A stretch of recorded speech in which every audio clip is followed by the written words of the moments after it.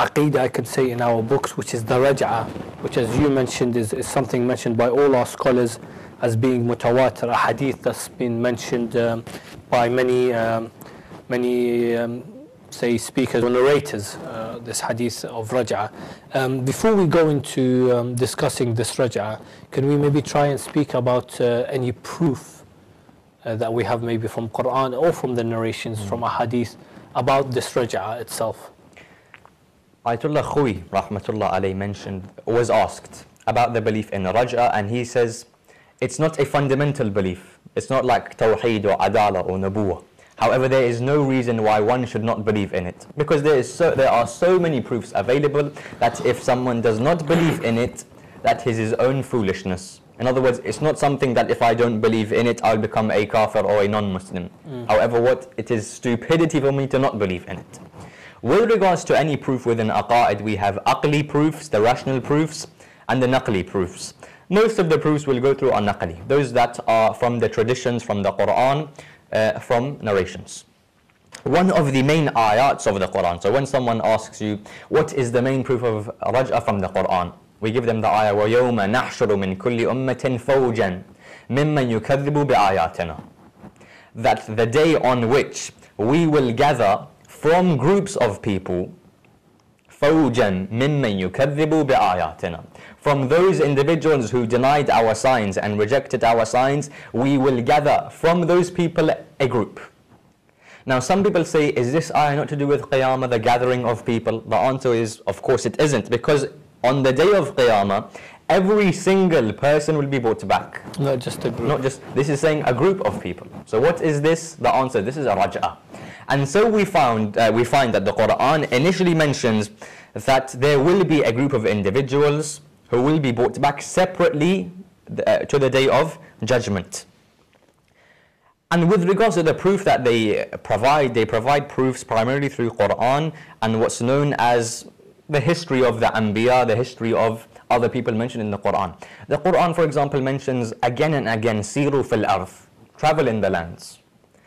And fanduru, look, ponder upon those individuals who came before you. Ponder on, for example, Ashab al-Kahf. Ponder upon, for example, the Roman society. Ponder on these different societies because they are lessons for you. The Quran again and again mentions to ponder on history, to look into history, delve into the, the different nations that existed so that we can extract lessons from their lives.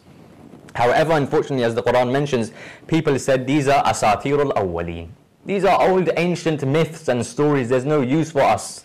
However, the Quran says no. The Quran itself mentions these various stories to invigorate us and to understand that they, for example, made a mistake, you don't make the same mistake. For example, uh, the people of Thamud, the people of Ad, the people of Ras, the people of Nabi Lut, uh, except Ashab al-Kahf, Dhul Qarnayn and Ya'juj and Ma'juj. This, these whole stories are mentioned in the Quran. Why? Because we can take lessons from them. From some of these stories, we can take lessons with regards to Raj'ah. We can understand how Raj'ah can take place. Because some people think resurrection will only occur on the day of Qiyamah. No, the Quran shows again and again resurrection can take place before Qiyamah. For example, Surah Al-Baqarah, as we know, verse 73 and other verses mention about how there was the dispute about a certain murder. And Allah says, look at this certain cow with these certain characteristics. When you find this certain cow, kill it, slaughter the cow. Then take a part of the flesh of the cow and place it on this dead person's body. When you place it on the dead person's body, that person will then come back to life. I will give him life again so that we can decide about what happened in this murder dispute. So primarily here Allah subhanahu wa ta'ala mentions, I have the power of course because I am uh, I have power over all things and I am capable of allowing an individual to be resurrected before Qiyamah, number one. Number two, for example, the famous incident, some say it was Nabi Uzair, alayhi, some say it was another prophet, how Nabi Uzair was passing by the town and he saw that uh, Allah subhanahu wa ta'ala's azab was on that town and he says, Ya Allah, how will you resurrect? And as we know, uh, he was caused to die for 100 years and then he was brought back to life. So Allah mentions, look, I caused him to die, I brought him back to life before Qiyamah. So Raj'a is of course this, that certain individuals will be brought back prior to Qiyamah. therefore showing that if the Quran says it's possible, of course it's possible. So various different stories like this within the Quran of people who were resurrected or were given life by Allah subhanahu wa ta'ala. Uh, again, for example, Dhul Qarnayn, his story is very interesting. Dhul Qarnayn, why is he called Dhul Qarnayn? Dhul Qarnayn, in Arabic there's something known as muthanna, tathniya, the dual form of the verb or the noun. Dhul Qarnayn is this dual form. Why is it the dual form? Some say because he had he lived through two centuries. Yes. Others say no, it was because his crown had two horns.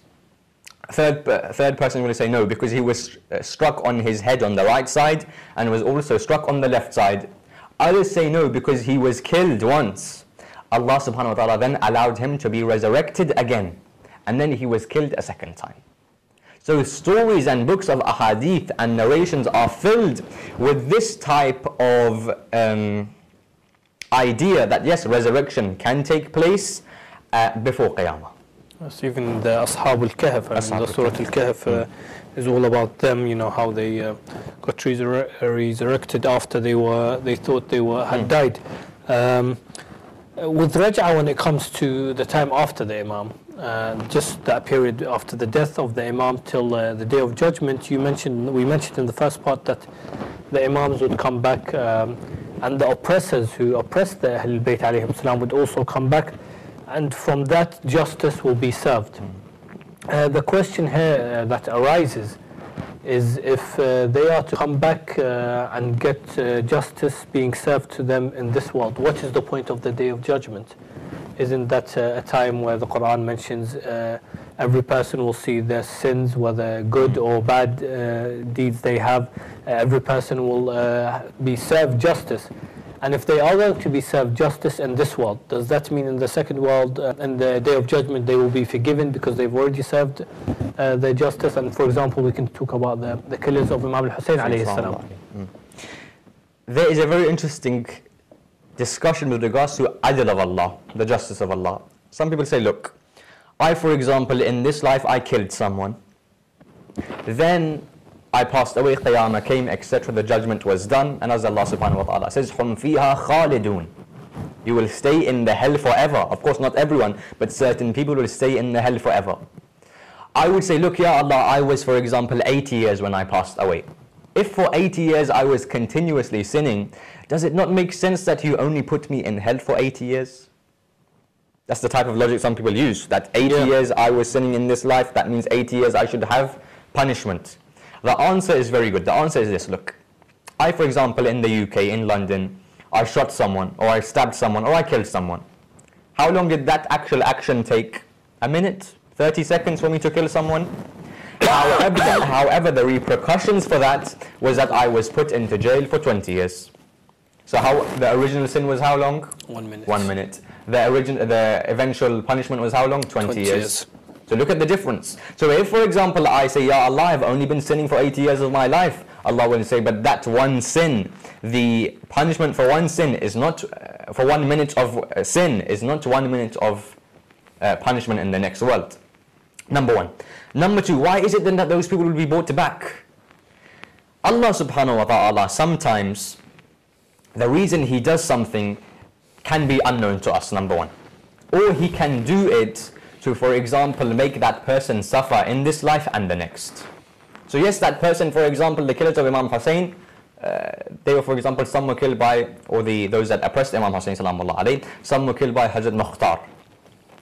Does that mean because he killed them that it is over now? The balance has been weighed? Because the Quran says, Kutiba alaykumul qisas. qisas, we understand, is an eye for an eye retribution. That within our law and kutiba in usul al-fiqh, refers to something being wajib. There are three verses that come one after the other. kutiba alaykum al-qisas, kutiba alaykum al-siyam, and kutiba alaykum idha hadara ahadakum al-maut in taraka khayran al-wasiyatu lil-walidain wal-aqrabin. So these three verses of the Quran of Surah Al-Baqarah, the first is to do, or one of them is to do with uh, making a will before you pass away, which is wajib because kutiba is used. The second is with regards to fasting, which is as we know is wajib in the holy month. And the third is qisas. Qisas says if one, if someone uh, takes out one of your eyes, you take out one of theirs. If, for example, someone kills one of your family members innocently, you do the same. Now people think this is wrong. We say no, the Quran says, لَكُمْ فِي الْقِصَاصِ حَيَاتٌ For you in qisas is hayat, for is life. How? Because if, for example, if you look in the world today, in Bahrain, in Iraq, in Pakistan, all over the world where innocent people are being killed, the reason why this is still going on is because qisas is not being implemented.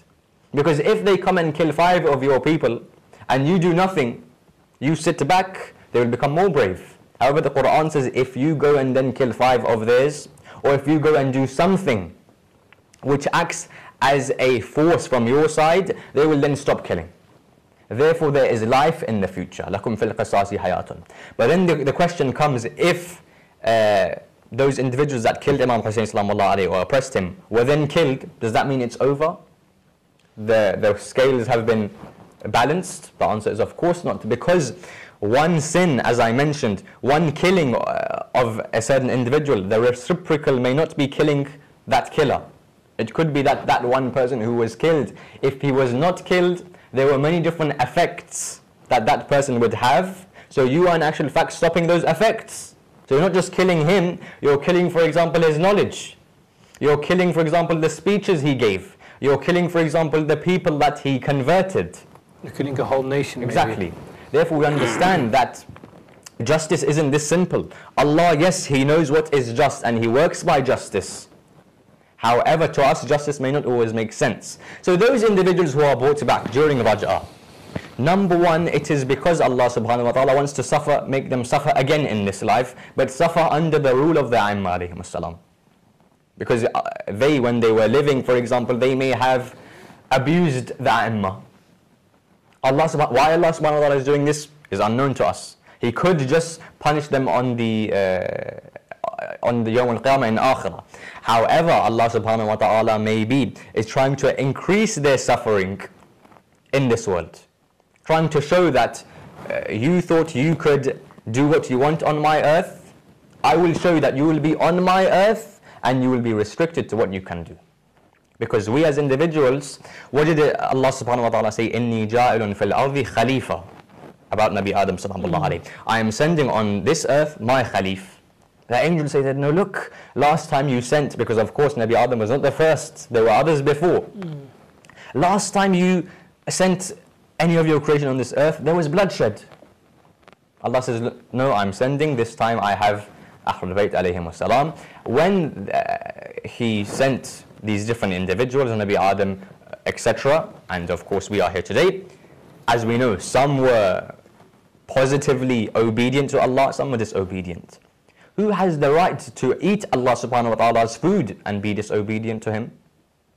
Who has the right to, for example, wear the clothes given by Allah subhanahu wa ta'ala and be disobedient to Him? So maybe Raja is to show those individuals, you thought you could take uh, the mick, as they say, do what you want. No, I will show you that on my, when you are on my earth, you work by my commands.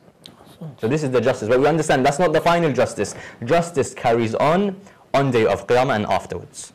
ونريد أن نمن على الذين استضعفوا في الأرض uh, that's one of the ayahs I think sometimes that summarizes this uh, justice being on this uh, earth before the day of after as in that uh, Allah wants to see those oppressed in this earth uh, get uh, justice um, after being oppressed um, let's talk about this rule that you mentioned because as on this show we always speak about the rule of the Imam during that period but uh, in the first part, we said that after the Imam's death, the Raj'ah, in the Raj'ah phase, the Imams will come and rule.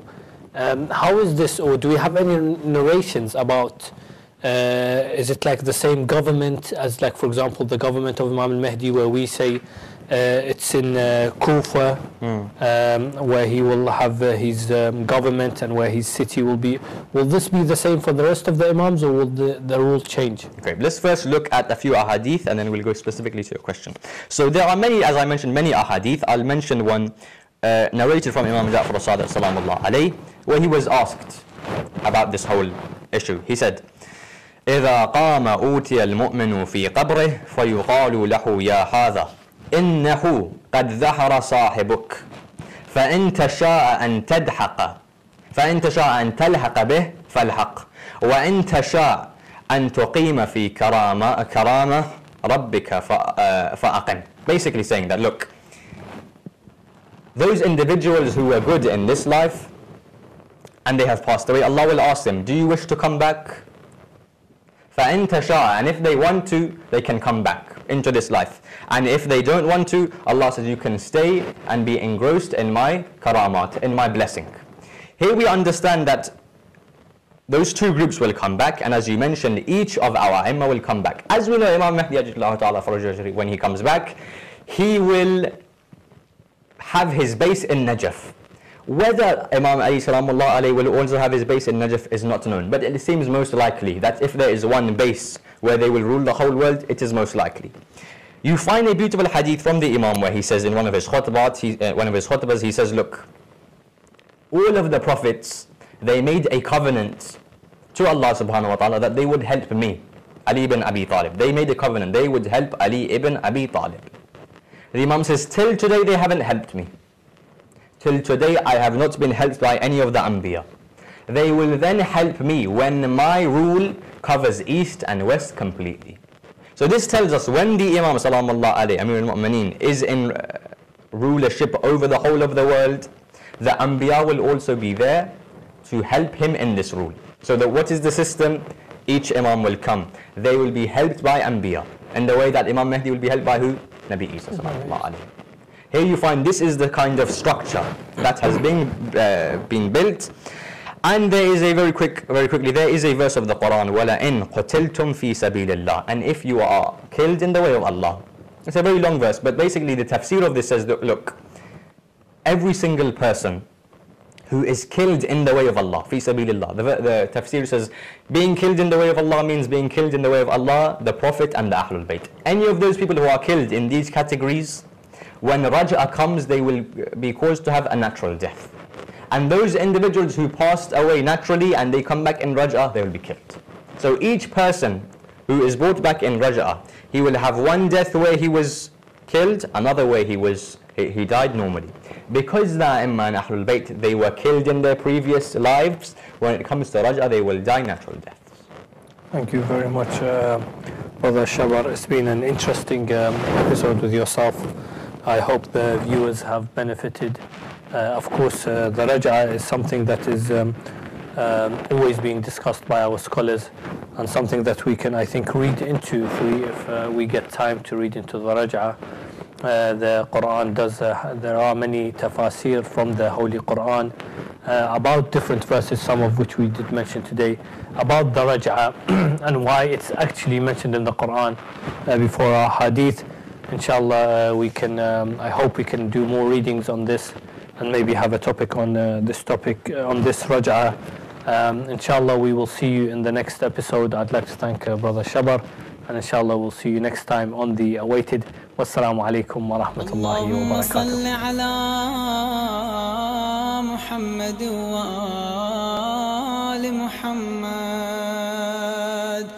اللهم كن لوليك الحجة ابن الحسن صلواتك عليه وعلى